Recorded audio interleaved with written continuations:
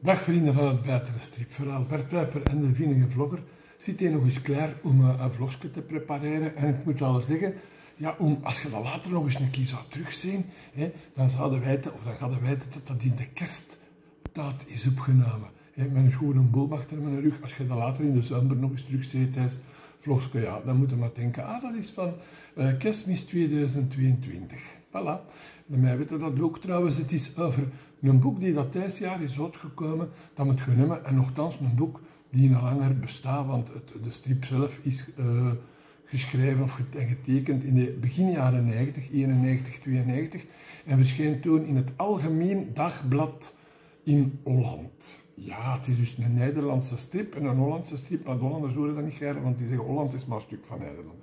Maar goed, uh, het is ook een boek die dit jaar is uitgegeven door de uh, onovertroffen André Wijntjes en zijn uitgeverij Kippenvel. Als je ze nog niet moest kennen, moet je dat maar eens een keer gaan en zien.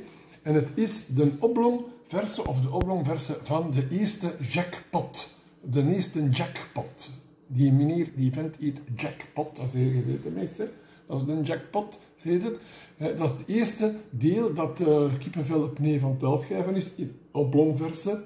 Kan daar zo beter wat meer over vertellen. Echt de moeite waard. En uh, ja, getekend uh, Mick Oosterveer. Mick Oosterveer, in België misschien minder gekend. En geschreven de Willem Ritsteer. Want Willem Ritsteer, dat was zo wat de vaste scenarist van Mick Oosterveer. En ik zeg was, want inderdaad, de mens is schelijk verleiden. Het is te zeggen, hij is geboren in 1961, dat was ik, in, maar dan wel in Dordrecht. En hij is er ook gestorven uh, als hij uh, 50 jaar was, hè, op, uh, in, in ja, dus 2011 zal ik maar zeggen. Hè. En als hij 50 jaar is hij gestorven in een, of met een motorongeval. Jammer genoeg. Onze vriend Willem Ritsteer, die is al iets kanaver, moet ik eens even zien, want ik weet alles niet van boten, in 1959. Maar die mens die leeft nog en die is nog kik. wacht, hoe zeggen ze dat? Een lijf en kikking. Een lijf en kikking. Dus, uh, want die doen nog, nog heel veel. Mick uh, Oosterveer, ja, dat is zo de man die kost tekenen in de staal van de Amerikaanse, uh, kom, ja, meer pulpverhalen, avonturenverhalen en zo verder. Hè. je zou kunnen zeggen, de mens heeft precies in bed gelegen met Alex Raymond. Die kende misschien wel van Flash Gordon, maar ook van um, Rip Kirby. Hè. Was ook heel gekend, hè, Rip Kirby. Uh, en nog Jungle Jim, had hem ook nog gemokt. Hè. Maar Rip Kirby en dan Thijs, als je dat ziet, ja, die hebben een veneen gelegen. Hè. Trouwens, Mick Oosterveer is ook een van de enige Hollanders die ooit voor de Amerikaanse Met gewerkt hebben. Ja, ja, ja, ja dat, dat, zijn er niet ver weggeleid. Goed. Uh, wacht, ik moet soms een keer naar beneden denken. Maar, alles om tafel, dat gaat niet meer zo gemakkelijk. Hè.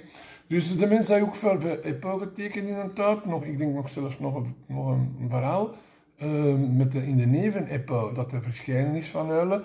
Ronson Inc. Kennen we dat nog? Ronson Inc. Dat was in het begin van de jaren 2000, ja, 2010 of 5 dat juist gestorven is. Ronson Inc. dat was eigenlijk een soort van uh, western. Maar voor wat een, een bloederige western. Zo, dat werd er wel wat serieus doodgeschoten en het, het stak op geen persoon. Ze moesten er in het begin genoeg hebben voor op nog met, met genoeg auto kunnen scheren. Maar dus, ik, weet niet meer of dat, uh, dat Willem Ritsteer dat geschreven heeft, maar dat zou ook wel eens kunnen, want die werkten dus heel veel samen. Van wat is die Mick Oosterveer nog gekend? Uh, Claudia Brücken bijvoorbeeld, hè, dat speelde zich vooral in Berlaan, uh, werd uitgegeven in, in de Lombard. Hè, pas op, dat zijn draaiboeken de Lombard en dan nog eens in een integraal gezet ook. En dat, dat weer, dat verscheen in Kufke. Pas op, dus dat, dat waren geen, geen simpele mannen. Hè. Wat hebben ze nog, wat had hem nog gemokt? Nicky Sachs. Nicky Sachs, dat was, waren twee vrouwen. Want ik tekent Gerden dat is een madame. Hè. Twee vrouwen die dat dus ook zo'n soort van uh, waren. Hè. Altijd uh, spannend en, uh, plezant. Dat weer wachten. Hè. Dat zijn ook een aantal. Ah ja, die worden natuurlijk ook uitgegeven door een andere uitgever, Reboot. Je moet dat gaan zien. Voor het eerst in kleur. Alhoewel, ik ben blij dat dat in zwart-wit is. Ik ga ze beter open doen en dat zien waarom. Hè. Dus dat werkte veel met, met Ritsteer. Uh, dat heb ik al verteld. En wat ze ook nog samengemocht hebben, is denk ik Zodiac. Zodiac, ken je dat? Hè? Zodiac, dat was meer een science fiction verhaal. Hè? Maar ook weer in zijnzelfde stijl en ook in het Algemeen Dagblad uitgekomen na Jackpot. Want Jackpot weer dus in, in struiken, hè? weer in struiken je dat? Hier zie twee struiken, zie je het, per keer. En dan, uh, en dan kwam er dus een, uh, een dag tussen en dan wij. Maar wat wil dat dus zeggen? Dat hem die moest dus maken, altijd van achter met een cliffhanger. Je kent dat, hè? In mensen die van, in, in België, hè, thuis, dat is ook altijd een cliffhanger op het einde. Gebeurt er iets dat de mensen zeggen, nou moeten we morgen terugzien, want anders kunnen we het niet meer volgen. Dat is wel niet waar, maar goed, dat, dat is daarop gemokt. Wel deze ook. dat is echt Amerikaanse staal, dus van achter ineens van, oh, dat is, zo goed dus bijvoorbeeld met een dolk, je ziet die nog vliegen, en de volgende bijlijke dan, volgende dag zie dat die in de muur gevlogen is en in deze rug. Zo heet is dat. Hè. Uh, dat, dat had hem dus goed afgezien, allee, goed gedaan ook, afgezien niet, want ik kon dat, die Midwoosterveer kost dat geweldig. Wat hij dit zeer nog allemaal ge, gepresteerd de laatste dagen of jaren, wil die net al een paar keren nog in, uh, dingen ge, gezet, verhalen. In, in Max X, het, week, of het maandblad, excuseer, dat spijtig genoeg na januari zal 2023 zal verdwijnen. Maar daar hebben we nog Jeff Freelander in gelanceerd, samen met Erik Heuvel, ook een hele gekende tekenaar in, in België. Wat had er nog om ook? Um, een politieverhaal, ook in Maxix, en dat heet Luton Hoge. Hoge, Luton Hoge, met een met twee puntjes op, getekend door Michel Offer, man.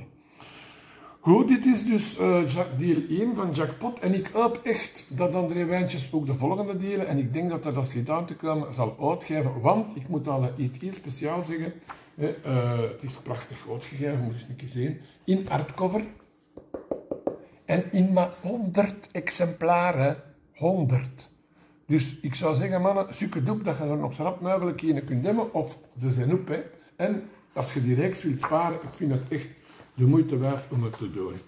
Eerst een voorwoordje van uh, Willem Ritstier, hè, waar dat hem dus inderdaad wel zegt dat hem... Uh,